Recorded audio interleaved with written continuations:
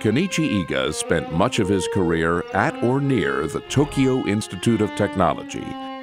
He had his eye on that school even as a boy in his home state of Hiroshima. I was the so-called radio boy, manufacturing the uh, radio set by gathering the parts by parts and uh, make the radio. I was interested in the science and technology.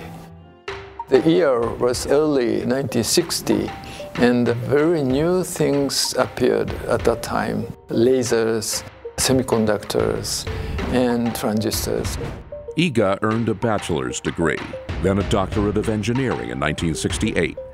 He became faculty, directed a lab, and led one of its research centers until 2001 he ended up developing several fundamental technologies underlying the internet and digital technologies, including high-speed, low-power laser and arrays of small lasers. His early work combined theory and experiment. I was not satisfied with the existing semiconductor lasers. At the time, edge-emitting lasers were manufactured individually, the way individual transistors once were.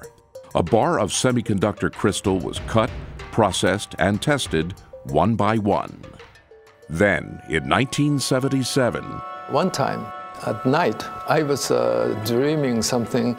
The idea of the surface emitting laser appeared suddenly in my mind. At that time, I was placing my research notebook in bed, so I made the sketch of idea in my notebook. It was a radical new approach a geometry never tried before to produce laser light. Iga dreamed of vast arrays of integrated light circuits produced and tested on semiconductor wafers, like integrated electronic circuits. But the semiconductor laser community was skeptical. In 1979, Iga demonstrated the first vertical cavity surface emitting laser, or VCSEL. For a decade after that, he pushed to develop surface-emitting lasers. Few people believed in his technology. His graduate school advisor and lifelong mentor, Professor Suematsu, encouraged him. He has too many ideas. So I advise him to concentrate to make one thing, practice of the VCSEL. Iga listened. In 1988, he made the first commercially viable version. Other researchers began to join in, and by the mid-1990s, VCSELs had become commodity products due to their inherent low cost, low power, and small size. They are now ubiquitous, lighting up this computer mouse and propelling data through computer networks and server farms. In 2001, he became executive director of the $4 billion Japan Society for the Promotion of Science, which is equivalent to the U.S. National Science Foundation. Six years later, he returned to the Tokyo Institute of Technology as its president. I thought the important thing for the University Tokyo Institute of Technology is to make a new version of the manufacturing.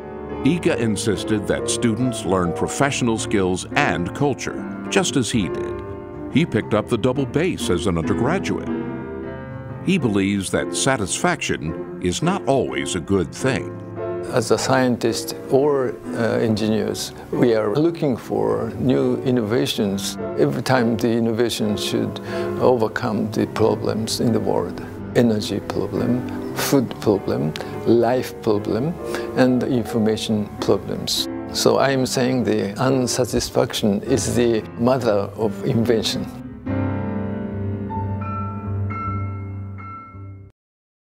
Kenichi Iga received the 2013 Bower Award and Prize for Achievement in Science.